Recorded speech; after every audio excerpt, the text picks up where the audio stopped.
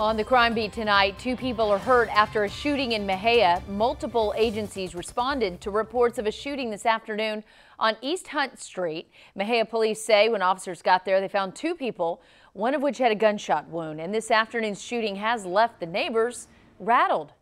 I heard what I thought was somebody knocking, but real not soft, like that. So I got up to check the door. There wasn't nobody back there. Mm-hmm.